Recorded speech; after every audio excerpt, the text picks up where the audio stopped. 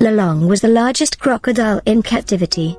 He was a saltwater crocodile, Crocodylus porosus, measured at 6.17 meters, 20 feet 3 inch, and weighed 1,075 kilograms, making him one of the largest crocodiles ever measured from snout to tail. In November 2011, Australian crocodile expert, Adam Britton of National Geographic, sedated and measured Lolong in his enclosure and confirmed him as the world's largest crocodile ever caught and placed in captivity. Lolong was found dead inside his compound at around 8 p.m. on the 10th of February 2013. The necropsy revealed he had died of pneumonia and cardiac arrest, which was aggravated by a fungal infection and stress. His remains were preserved by taxidermy at Philippine National Museum of Natural History.